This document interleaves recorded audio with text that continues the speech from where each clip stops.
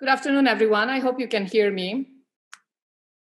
Uh, welcome to Asia School of Business. This is our first webinar in a, in a series. Uh, as you can imagine, this is a very interesting time for all of us. So uh, um, I really appreciate you being here. I hope the traffic on the way to this webinar was okay and you didn't get stuck into too much of it. Um, allow me to give you an introduction. Uh, my name is Loredana Padurean. I will be a panelist and a moderator for, for today's session. And together with my guest, uh, Mr. Lee uh, Lung Nien, the CEO of Citibank Berhad, and my colleague, Professor Michael Frese, Professor of, of Management, we're inviting you to, to join us in this conversation. We would like to think of it more of a dialogue. And um, I'm going to take notes throughout this throughout this process. Uh, we will ask you kindly to mute your mics, um, mute your videos, and type the questions in the chat box that you're going to see there. I'm going to try to capture as many of the notes in, in the comments and uh, keep everybody happy. Now we have a, a, screen of Professor Frese who's, who's with us, and I will invite uh, uh Mr. Lung to also turn on his camera. So uh, before I do that, I just want to take a moment to say that this is a really, really interesting time for all of us. And uh, uh, I think uh, even a month ago, let alone two months ago or three months ago, who could have imagined that we live this reality? And uh, I know a lot of people are saying that it's very hard to work from home. Uh, I have to say myself, I thought Zoom was fun in the beginning. Now, after having eight minutes of eight, eight, eight meetings of Zoom every day, I think, hmm, maybe not so cute. But uh, uh, I hope we all realize that we are the lucky ones. We are the very, very lucky ones who can be here, who don't have to be on the front line, who are not medical workers, who are not policemen, who are not grocery people, who are not people who have to who have to sacrifice every single day of their well-being for this. So, I would like to ask everybody a favor. For the only time in this webinar today, I want, if possible, everybody to turn on their cameras and turn on your audios so if you can to understand more about the uh, on your camera, your, your understanding about the I heard about class what I'd like us to do together, I would like us. Uh, we're gonna okay. take a little video. Này, này, uh, talk to anyone about. Oh, nggak brownie. Thank you, everyone. Hello. Oh, hello. Suruh cakap. Kau suruh semua orang cakap. Ah, itu dah jadi kan? Kenapa? Oh. I mean, Everyone. so so you, you, are, you actually is like you with somebody is quite long. Oh, oh, Juanita here. It seems like you actually quite happy. Afternoon, everyone. Oh, Hello. Kena Letak muka you boleh tak? Ya dia cakap everyone Dia cakap everyone Mute your cameras. Thank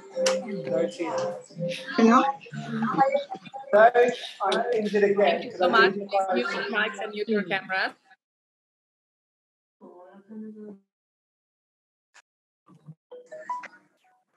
Yeah, don't think that's very distracting. What? You've got to finish this. Kena dengan email kau ada dengan ID.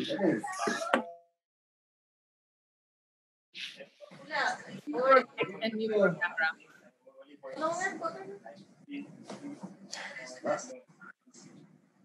So let's let's get started, and uh, uh, the uh, the format of this uh, this uh, meeting will take place as as follows um, because we're trying to have a very simple uh, format.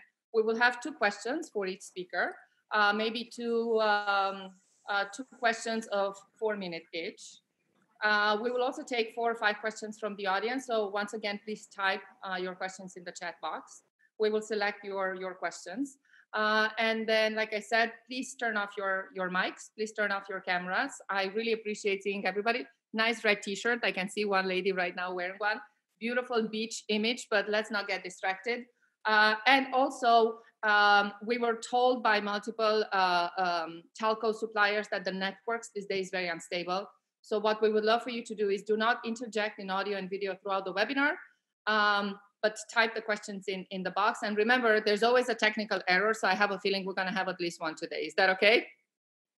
All right, so let's get started. I, uh, I also typed the questions on the screen so people who cannot hear as well they can see this. We're going to start with Mr. Lung, the fabulous, the well-known, the extraordinary Mr. Lung, who's a friend of CD, a friend of uh, ASB for, for a long time and the CEO of Citibank. So um, I can only imagine, uh, Leung, that you had a really complicated journey in the past couple of weeks, right? So uh, you talk a lot about leaderships. I've seen I've seen you speak in your public speaking engagements, and you're an amazing speaker. But can you tell us a little bit um, and try to use maybe real examples? How did your leadership change in sure. the immediate term? Well, firstly, uh, thank you for having me on. Um, I, it's always a privilege to speak at ASB. Um, it is an honor for me to be here today. Now, um, you know, I've, I've been through a couple of crises, right? I mean, I've been with Citi for 30 years. And so I've, I've seen quite a few Asian financial crises, the global financial crisis, and then now this one, right? Which is a, a big, big, big one, pretty much similar to SARS, but this is a lot bigger. Uh, one of the things that I've realized and learned over the years, right? And these are for um, all managers should should all leaders should should think about this. Um, I've got basically about five things that I, I look at and, and that things that I've changed uh, and be more focused on. The first one is um, in situations like these, where it's, you know, we very VUCA, right? Volatile, complex, uncertain, complex, uh, you know, ambiguous world, right? Um, we set, or I've set very clear short term objectives. Because if you think, you know, I, I don't know what's going to happen end of the year. Right? So for me and my leadership team, the first thing I've done is short short-term objectives. Uh, what used to be a month or even year out, your strategies, it's now daily and weekly. Right? Set timelines that are clear, quantifiable. Um, we do that uh, every day, and we have to track them. So that's the first thing that that I've done, right? Whatever needs to be done, it's daily, it's weekly. Right? The next thing is the teams that we work with. You know, we use the term war room. Now, war room sounds great, right? Yeah, like everybody getting there, everyone trying to solve the problem. But let me tell you, big war rooms like you see in movies, right? Where the general you know, commanding his troops. It doesn't work in situations like this. I used to have a 16 man management team. Uh, I still do, but when it comes to uh, decision making and all, my teams are now tactical. My daily team that I work with is a four man team. My ONT head, my uh, service head, uh, a senior operations officer, and myself. And we meet twice a day. Um, and why is this the case? Um, very simple term, right? If you have too many cooks in the room, you get confused. There's too much information coming in. Some of them you're not sure whether it's real. So, in situations like these where decisions need to be made, you know, how many people work from home, what sort of equipment people need, um, you need to be nimble. Things are fluid. Bank Negara comes out with a new policy. How do you distribute that? Uh, decisions need to be fast. If you got, you know, 15 people in the room, everyone having an opinion, uh, it's going to be very difficult. And for myself, uh, I need to be able to uh, hear people's uh, feedback, but at the end of the day, I still need to make fast decisions it's all, I'll use a military term, right? It's all about command and control.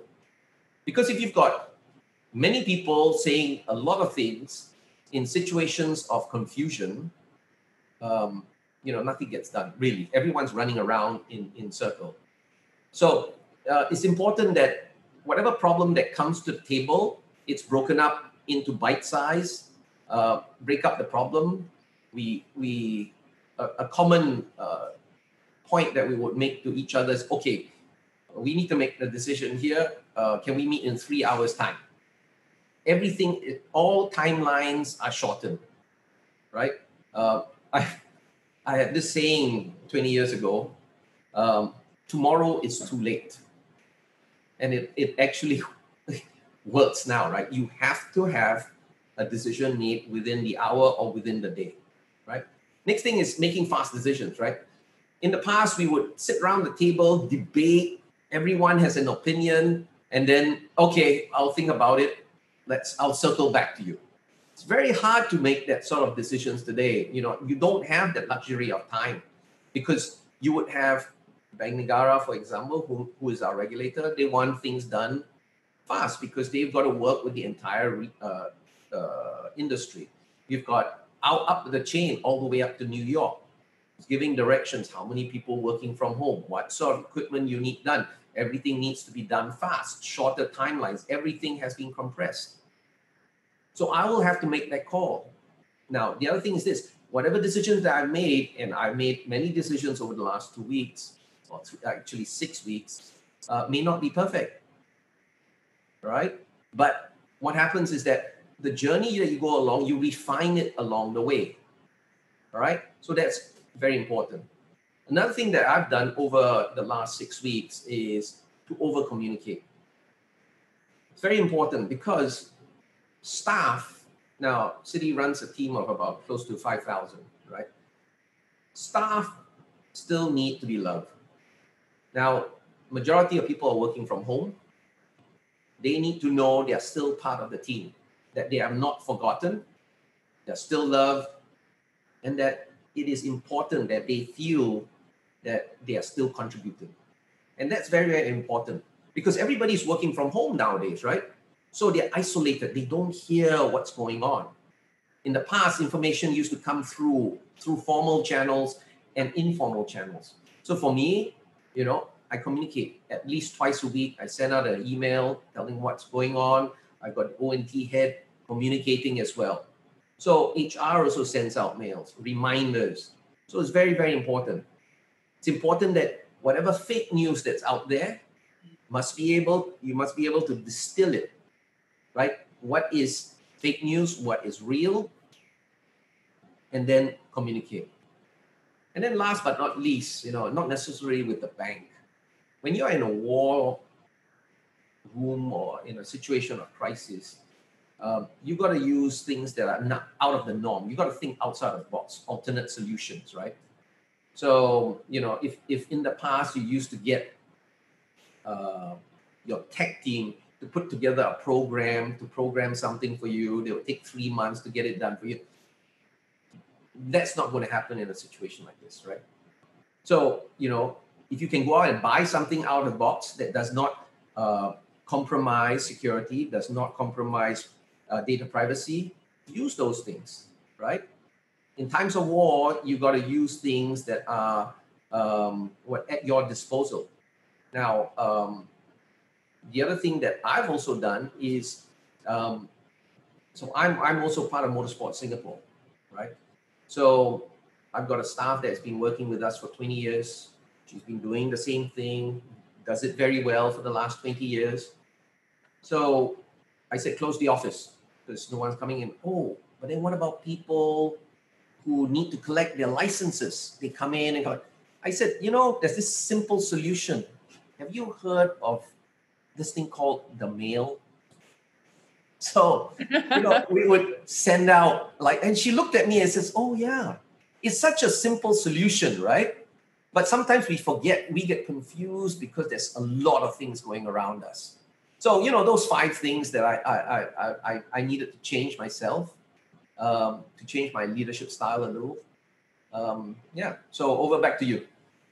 Thank you so much. Uh, I took a lot of notes, but I'm going to uh, to pass the uh, the mic to Professor Frese. And um, like I said, you're a, you're an expert in leadership, in crisis psychology.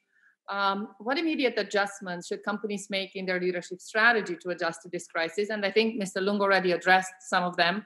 He talked about five things. So I'm going to ask if you can talk about five things from your perspective that they should do. Uh, and again, I'll take notes. Let me just send a reminder to everybody who's listening in. Please turn off your mics, turn off your, your camera, and we will take questions at the end. So type on the side box. You will see a type uh, a, a chat box type your question. I promise. Uh, my even our president is typing questions in the in the box, so we will get to you. Professor Frese, what do you think? Thank you. Um, Mr. Young, you, you were already so good. Uh, it's very hard to add something to that. Um, I think the major issue is indeed the time perspective. But let me let me come back to um, the to some of the uh, scientific literature on on reaction to crisis. And one of the uh, bigger problems is that typically organizations start to develop a threat rigidity cycle which means the following you're under threat and you immediately start to constrict control. You start to, as you also say, because of time constraints, you centralize many things and you forget the emotional side of the problem. And I think you were very, very nicely said that people still feel loved, need to feel loved. Uh, by the organization, by you as a CEO. And I think that's extremely important because you're so much oriented towards the problems as a leader in this situation that you sort of forget everything else and you constrict. And what you typically do is, of course, you go with your first intuition. And usually the first intuition is good, but it can be wrong because the first intuition is, of course, that we say we have to concentrate on the problems only, and we don't have to concentrate on the problems for the organization only, and we don't concentrate on the problems that individuals have. So, what do people feel in a crisis situation? They feel confused. Um, there's nothing that works anymore in the same way as it used to. Um, everything is new. Um, Loredana was telling me that I should really get used to WhatsApp now from now on, every second of the day. Um, I hate WhatsApp. Um, so the point is, we have to start to change the way we do things. So, in a way, we are now under time constraints in an organizational change situation. And one of the biggest things there, and uh, you already alluded to that, is we make a lot of mistakes. Everyone makes a lot of mistakes.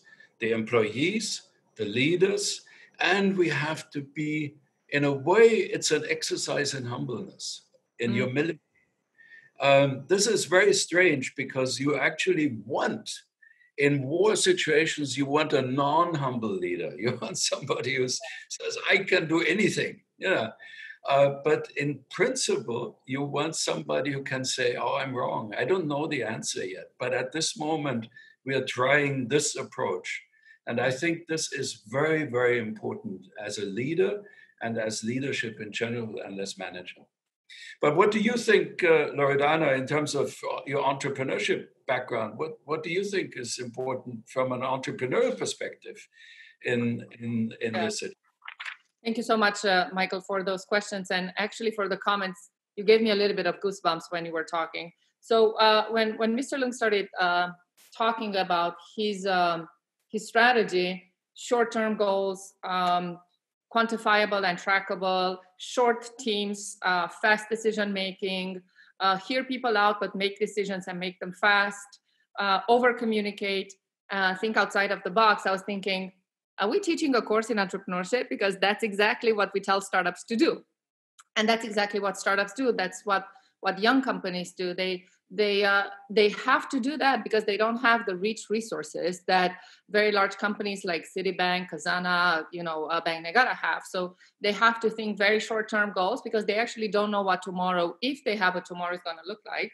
Um, most of the time these people the, these companies have a, uh, to have a very small people team right so there's a limited number of resources there so as i was reflecting for the past couple of days about this uh, this situation I, I realized that having a strong entrepreneurial mindset will help a lot of these companies. And and to go back to to michael points which i which i took um, i wrote down it's also this uh, people centricity versus problem and system centricity that that matters a lot right? Um, people still need to feel love i love the way you said that Leung. Um, and love is um, uh, actually i'm going to bring that up in the next question that i have for you michael when we talk about the, the psychology of people but i think there has to be a, a centricity towards people um, maybe um, find ways to uh, revise a lot of the processes that we have um, I'm driving myself uh, and my team crazy these days because I constantly tell them, do we have to have 17 steps in this process today or can we make it four? And actually, one of uh, my very, very beloved colleague who's a former student of ASB said, can we make it a one step process?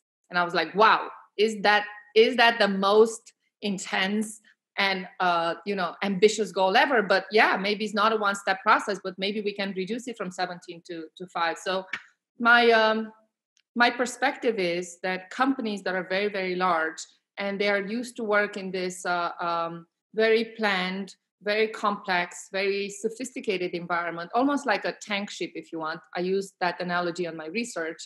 They have to lear- learn how to go back to the basics.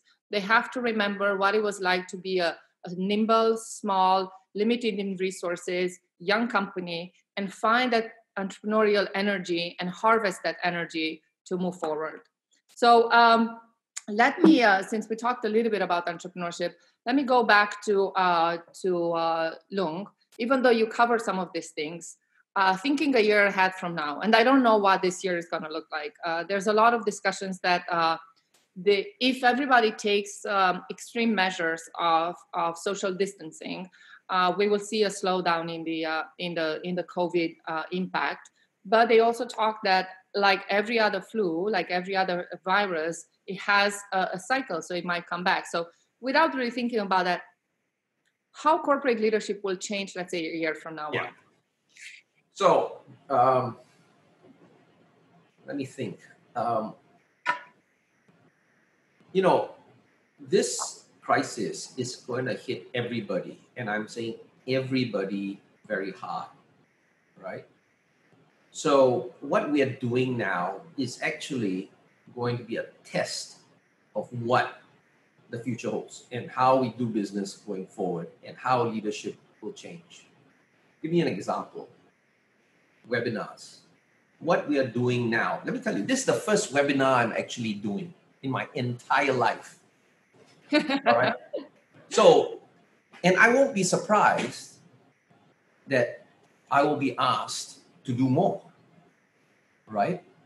Um, because as companies struggle to make profits and all, they've got to find alternate ways of doing business, of communication. So, for sure, more video conferences, more video conferencing, more phone calls, rather than flying around the world. Yeah. That's for sure. Okay? Because we are living it, and I've been living this the last six weeks. I've done more video conferences right, across the globe than I have in the last 30 years working. Right? So this is going to be the norm. There'll be less face to face, right? And more will work from home. Yeah. Now, with more people working from home, you will realize that um, office costs, right? Office costs are always uh, very high. And if someone can be just as efficient at home as, com- and, as compared to being in the office, why not work from home? So, you know, I, I see that as a big change as well. Another thing is companies will be investing more in technology. I, I've, for one, now I've got this home setup here, right? Video. I'm trying to think, oh, how do I get my voice more crisp, right? Do I need a better mic? And this is for myself. Um, so I think companies will invest more in tech to help people communicate better because I think it'll be a lot cheaper than flying around the world. Um, uh, one more thing, I think companies will take their COB, continuity of business, your BOP testing more seriously. Right? I, I think in the past, everybody, uh, you know, just went through the motion of uh, testing, right? Your continuity plan. Or, you know, you've got a, a alternate site, you send people, 10 people that, yep, the phone's working, yep, the, con- the computer's working, okay, we're done. Yep. Right? Oh, yeah. Right? So so I think all these things will change in the next one year. So, so let me uh, let me stop you here, um, and we'll we'll go to to Michael next. But I just want to reflect a little bit on on um, uh, something that you said and stimulated the thought. Every time I'm supposed to have a meeting in the prior to COVID, I was supposed to have a meeting with a corporate client. They would invite me to their office, or they have me, uh, uh, or they would visit my office. Uh, I had a, a, bunch of meeting with startups, and they would just send um, web links for webinars, and I'd be like, "Why?" And they said, I'm sorry, but we don't really afford to go all the way to your office. And we don't really have time to socialize after this meeting because we're really like struggling to make the best out of every single minute that we have. Yeah, and, and money, right? Because startups, they can't just burn cash, right? So they need to be efficient. And another observation that I have is uh, actually it's it's a lot of comments that I see on social media where they say, so it turns out that meeting in person now can be a web a web meeting that web meeting can actually be an email. That email now can actually be a short email with a fast decision making. So what i see it's a change in it's a change in behavior. And since michael is is talking about behavior a lot in his work and he's actually uh, assessing the psychology of people in a crisis michael a year from now on the same question to you. When we go back to an equilibrium whatever that equilibrium looks like uh, what do you think the reality the economic the social the healthcare reality is going to look like can you put on the video uh, because my video was turned off? Yeah, I think somebody's going to help you with the video, but we can hear you well. So go ahead. Okay, good. All right. So um, um, I think this is um, uh, in in a few years' time or in a year's time, we will probably look back, and it will be a, a situation where we will ask the question: Has the company done well, well enough? Under these circumstances. So it's a, a, in a way a, a, trial period in which we all are in, uh, whether we have actually dealt with the situation well enough under the circumstances. Um, and again, people will uh, sort of think this was an awful time, but there were also many things that were positive. Um, feelings of solidarity, feelings of being together in this situation, etc. Also, the kind of help that you uh, were getting uh, that may have been surprising to you.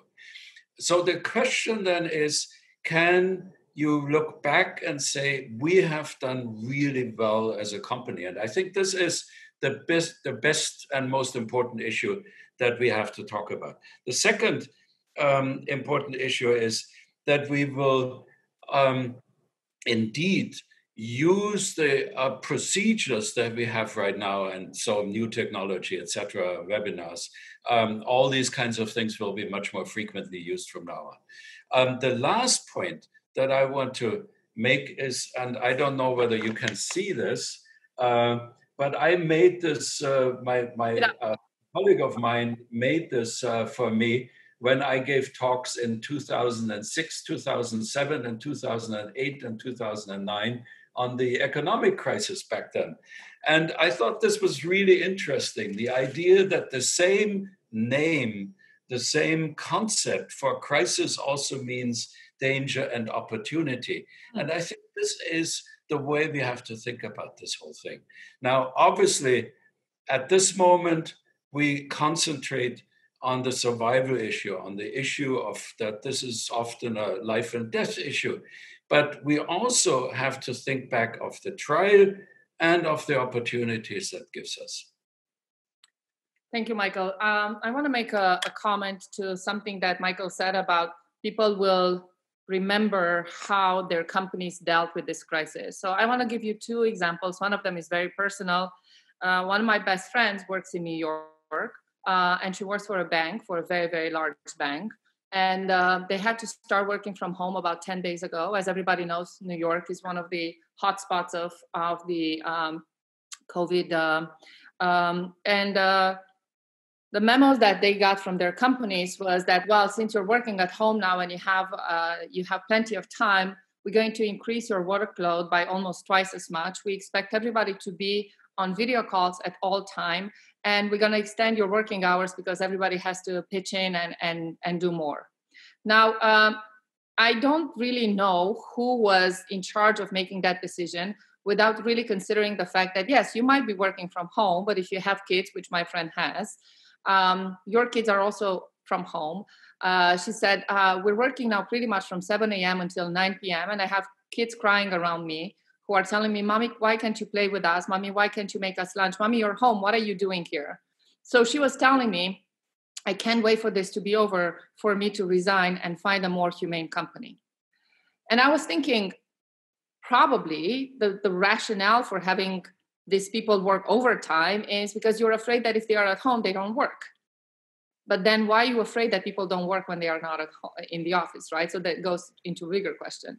I There's think a bigger psychological issue around this yeah. whole homework, uh, and I think that makes perfect sense. Yeah.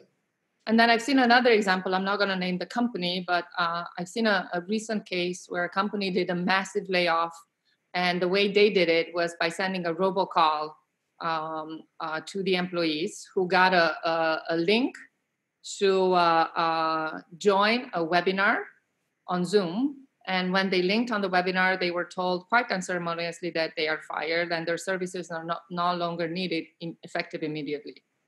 Now, um, Michael and, and Yulung, both you talked about the fact that people still need to feel love. And I feel like one of the, uh, the things that will make companies survive or not in this time is how do they reach back into their humanity uh, account how will we all understand that cuts will have to be made. Uh, people resources physical etc but i think it's how do you do that that will matter. Um, i uh, i want to say one of the great things about ASB is the day before we went on lock- lockdown our hr and finance did the impossible and send out paychecks uh, i think 10 days in advance because we all knew that we're going to have to deal with this. So i really want to see if there's anything that uh, that you guys can advise company in terms of this humane or humanity lens to do. And then i'm going to open the floor for questions. I already have a lot of questions here from from the audience so i'm going to pass that to you. But any final comments from yeah. or advice on how how we can increase this humane or humanity uh, uh, lens? Sure. Uh, let me go first. Um, you know, like all crises, it will pass. It will pass. How we behave, how we conduct ourselves now will be remembered. If the crisis is for six months, let me tell you, if we make bad decisions, bad people decisions, we will be remembered 10 years down the road mm, yes, for the decisions yeah. that we made, right? Empathy, respect for staff, even in points of crisis, we need, as leaders, we need to be able to control ourselves. Because that's one of the things, right? There are different types of leaders. There are leaders that are really cool under pressure, right? Nothing fazes them.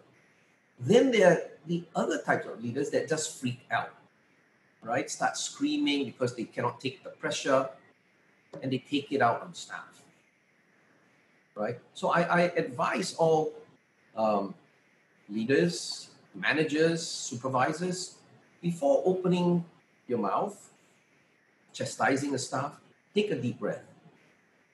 Understand what the other side is going through at that moment. Because everybody is in this crisis together and everybody is under pressure. Everybody wants to do their job. It's just that the circumstances around them have changed.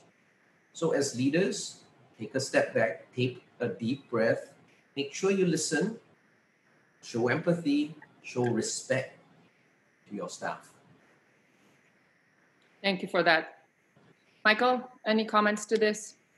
Um, I think the general idea is um, put yourself into, as you said, put yourself into the shoes of, of your employees. Now, whatever you are doing, and I agree with that, is going to be um, sort of a test of, of how is this organization, how is this leader going to do in general. I think in in addition, what you have to think about is what how can you reduce the negative affect, the negative fears, the negative feelings that are around because of the fear of COVID how can you uh, sort of make sure that people are not constricted in their views because of this fear. And I thought I heard a very nice uh, uh, song today uh, by by a guy um, uh, uh, whose name is Prince EA, um, and he said, "Be um, be aware, be careful, but don't panic." So try to make this small difference between the panic and uh, and be at the same time aware of the dangers that exist.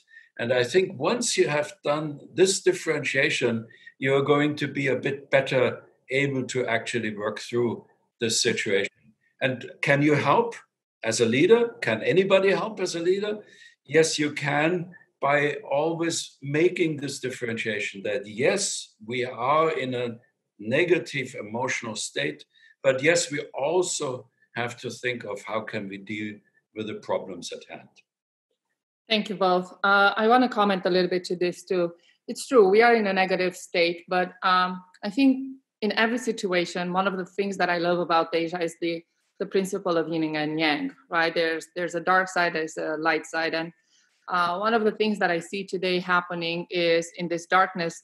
There's so much there's so many examples of extreme humanity there's so many examples of people helping other people without any reasons but just because they were there um, i think again i want to go back to uh, my comment about um, companies who will show respect like you said who will show humility who will who will show respect to their employees will truly gain on the long term because yes you might have to lay off some people right away or you might have to reduce some some of your resources right away. But like every cycle like every crisis we will go back to the top. And those who will go back to the top with a good um, if you want uh, emotional positive investment in the in the people that they couldn't keep in the long term they will be the ones who the ones who win. And we have so many examples. Like i have a lot of uh, uh, uh i've done a lot of work with uh, some of the automotive industry and the automotive industry is constantly going through these cycles of depression and then success. And a company like Toyota, for example, who has been extremely positive in keeping their suppliers um, engaged and supported in crisis, continue to show very successful uh, uh, financial sustainability on long term. So uh, I'm going to uh, I'm going to ask Professor Fine to uh, to maybe select some of the questions. As I was listening through, we have literally dozens of questions, uh, anywhere related to the loss of job, um, bringing a workforce for from retirement uh, how do you communicate effectively? But i'm going to ask professor fine uh, if you can use your uh, audio charlie and read some questions. For those of you who don't know professor charles fine uh, or as we call him charlie he's our president and dean. He took this uh, very challenging task of selecting some questions. So professor fine the floor is yours Thank you, Loredana, and thank you to the panelists for contributing to this program. So there are a lot of questions that have come out, and I'm trying to group them a little bit. There's a whole set of questions about work from home, and the work from home questions. Uh, let me let me put them into the following categories: How do you manage people working from home? How do you measure the, the work that people are doing from home? And how do you maximize the productivity of the people who are working from home? So, how do you manage them? How do you measure them? and how do you maximize the productivity in this situation? But uh, let me start.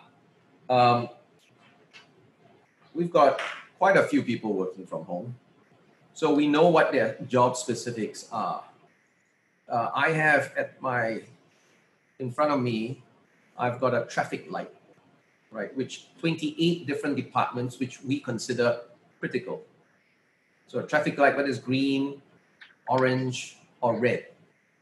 And these different departments are tracked on their productivity, right? So if it's, for example, CitiPhone, you know, the calls coming in, yeah. where you're supposed to pick up the calls X number of seconds and all, uh, we track all that. Everything is quantified.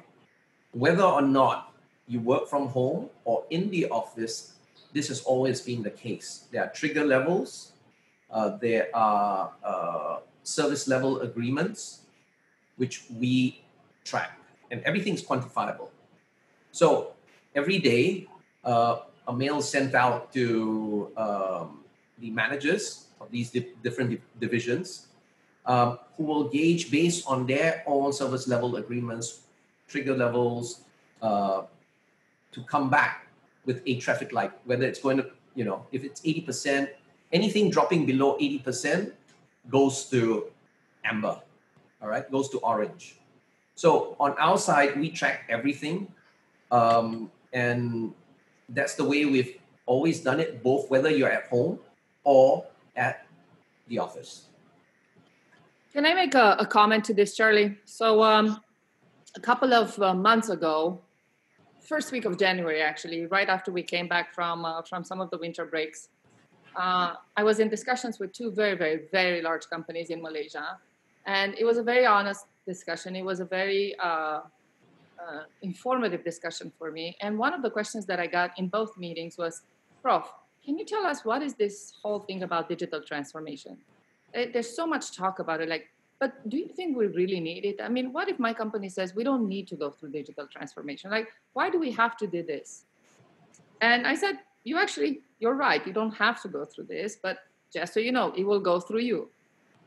Um, and I feel like if today anybody has any doubts that digital transformation is a reality, uh, and digital transformation means creating systems, plans for managing a workforce that works from home or measuring the performance that works from home or setting up like Lung said setting up systems that allow you to have a mobile workforce or understanding how to make decisions in a much faster uh, uh, hybrid way.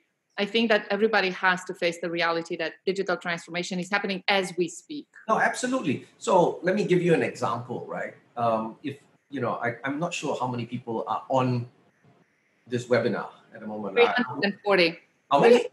340. Wow. Okay. That's amazing. You see, that's the thing, right? Take this for example, right? You could never get 150 people in a room, right? To pull them into Sasana Kijang, right? Or Lanai Kijang. Yeah. But you can get 350 people in this time of crisis because of technology. That's one, right? And if I were to ask the 350 people in this room, how many how many of you have actually walked into a bank, a branch, to actually do banking? I would say only a handful. Most people would do their banking online. You can transfer money online. You can do it on your mobile phone. So that digital transformation, you know, has already happened in many industries. Right? So to your point. Thank you. Um, Michael? Um, I think it's important. Uh, not everyone is, of course, uh, in the same situation um, as you are at Citibank with extremely um, quantifiable types of, of performance indicators. So, quite frequently, people have to sort of organize their work completely new uh, when they start to work from home. And I think uh, the example that you gave, Loredana, was an interesting one of your friend in New York. So we have to sort of uh, ask the question how can you actually make it better for yourself? How can you be more productive for yourself? And I think one of the big issues here is that you have to develop new routines, that you have to be very clear uh, what are the routines? And given the fact that we are uh, that we are lock, on lockdown, um, it is actually um, even more important that we know um, uh, that we are a little bit in a situation um, where we need to, uh, you know, like if if you were in prison, where you have to really make sure that you have your own routines and that it's not just um, uh, something that is completely only determined by the outside world. And that I think is something that individuals have to worry about. Now, the second point is um, uh, that, of course, the more you have quantifiable uh, uh parts uh, to your to your work performance indicators, the better and the easier it is. But we also have to worry about to make everything quantifiable because often we know that there are certain kinds of things where it's not quite true that we can um, that we can know that it was precisely done in the type of, in, the, in terms of quality and in terms of, of the human factor. Um, as um, as we think it was done. So this is an issue. So we still have to talk about intrinsic motivation um, in this situation as well. Yeah, uh, I was just thinking, as you said, Michael, that we need routines. Today, it's the first time in two weeks I had to put on makeup, and mm-hmm. I was like, "Huh, that completely changed my uh, my day, right?" So uh, let's take one more question, uh, Professor Fine, if you can find a really good one. Uh, we're scheduled to finish right away, but uh, I would suggest if we can stay maybe for 10 more minutes.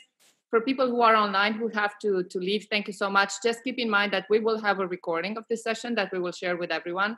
So, uh, Professor Fine, give us a really good question. Yeah, so this other question I think is very rich. It, it refers back to the references that uh, several of the panelists made about wartime versus peacetime uh, processes. And, and the question was, and that, maybe that relates to entrepreneurialism as well. But the question is really, well, if if wartime uh, processes are so good, why don't we do them all the time? Why do we even need peacetime processes? And uh, what can we learn from this for not only for the wartime that we're in, but for our ongoing way that we uh, organize ourselves and work in our in our organizations? Okay, Michael, you can go first. okay. oh, you're very generous. you want me to go first? Usually, you have a woman who takes up all the hard uh, questions, right? First. Well, anyhow, so I, I do think um, that we have to be very, very clear that we cannot continue with only uh, uh, homework and working from home. We cannot do that. We can also not only work for the next few days and make decisions for the next few days and under time pressure. We can also not work under this kind of pressure where we only worry about the next few, uh, the survival of the next few weeks. This is not going to be healthy. So we have to also come back to a sort of peace type work environment again. And the peace type work environment, of course, is to some extent that we meet again people. Um, there's no way that we cannot have the human touch again. There's no way that we can completely get rid of the kind of, of, of human interactions that we have in a, in a, in a common meeting room, etc. Still, of course, we will be much more working through new technology. I agree with that. Digitalization will happen more. I, yeah. I agree with that a lot. I think, uh, if anything, and this could be my very entrepreneurial nature, we can learn a lot how to be faster and better and more uh, effective. Uh, I grew up um, in um, in East Europe. I grew up during communism, and to be honest, the uh, the past two weeks, this reality reminds me very much of of growing up in a controlled society with uh, uh, rationalize everything. Uh, I have to admit, my house is nicer these days than it was uh, a couple of that decades ago. But one of the things that we learn in my in my in my childhood during communism is how to make the best out of nothing and how to maximize a very very limited number of resources in the best way possible. Lung, do you want to comment? Have a final comment of the day, and then maybe I'll ask Charlie to to comment something since he's been listening so attentively to all this? No, I, I think I agree with everybody, what everyone has said, right? And we need to come to a balance. I don't think one or the other works full time for everybody. I think a balance will will happen. Uh, we will learn from this wartime experience. I'll just use that analogy. This is wartime experience. We will learn from it, and we will come out better um, we will um, pick the things that made us stronger. We will develop better systems. We will share and uh, because like Michael said, I think the human touch, you know, I've been working from home for the last what 10 days, hmm. 15 days, and hardly speak to anybody, right? Mm-hmm. Or face to face at least right? And I probably won't be for another two weeks till this MCO is lifted, right? So that human touch during peacetime, I think, is something that's missing. And as I mentioned before, people need to be loved, right? It's very hard to love somebody over a video. I'm sending everybody love, just so you know, you are still loved, people. Charlie, do you want to say something before we wrap it up? From your experience, I mean, you, uh, we, uh, just for everybody in the audience, just so you know, Professor Fine is an expert in operations and supply chain management. At some point, we will have a, a webinar where we talk about how do we uh, design resilient supply chains and how do we address the challenges that we have in terms of procurement, delivery, etc. Charlie, do you want to say something related to that or not? So yeah, in fact, there's a question that says, what about the people who can't work from home? For example, transportation of goods, passengers, supply chains. What's the solution for that? And I think, as we know, the government has said there are some industries that are critical and need to continue to run. And one of them is food supply chains. So, all the way down from the farmers in the field uh, to the truckers who bring the food to the warehouses to the supermarket uh, shopping uh, service providers. That's a supply chain that can't work from home, but that has to continue to work. And the government has to support the, the health and well being of all the people in that chain because if any one link in that chain uh, breaks, then food won't make it into your home during this time period. So uh, we do have to spend a lot of time thinking about how to make sure that those chains work and not not everything that we need is can be done by work from home and so we we have to focus on those as well thank you everybody i think uh, we're we're actually uh, six minutes uh, past time but uh, maybe because it's we've been talking about love maybe because we're missing other people um, on uh, on a, on a screen but uh, this seemed like the time was went by really quickly um, I want to say uh, before we before the conclusion of this event that obviously all, all conclusions are temporary, and I learned that from from my my uh, mentor and my president. But I want to say this is a great time of uncertainty and stress um, on many dimensions. And uh, I was actually wondering who is alive today that can have all the answers that we are looking for. And probably it's going to be very hard to think of, of one. But I think collectively we can develop strategies that can work for individuals organizations and nations. And I think we see so many case studies around us of not just individuals, but how nations are taking over and taking control of what's what's happening. Uh, I want to thank everybody. ASB is committed to being part of a, of this process and being a positive contributor. Keep in mind, this is the first time we are doing this ourselves. I was telling my team this morning, I've never been so nervous being on screen in my life, and I used to work in media, but there's something about this webinar feature uh, stay tuned for more information about the upcoming events, and I'm going to leave this screen here. I would encourage everybody to uh, take a shot of this uh, this uh, code. Send us some uh, some uh, some if you want topics of interest that you might have. stay in touch with us. I promise that by the end of this week, you're going to hear at least three or four more seminars that we might put together in the next upcoming weeks if you have an interest in doing so. Professor Michael, so good to see you. Uh, I know we only talk once a week uh, when we meet in person, but I feel like in the past uh, two weeks we talked a lot more. Um, Mr. Lung, as always, you're fabulous. I'm so sorry that you cannot drive your fast cars on the on the circuit, but you drive at the same speed of light even when you work from home.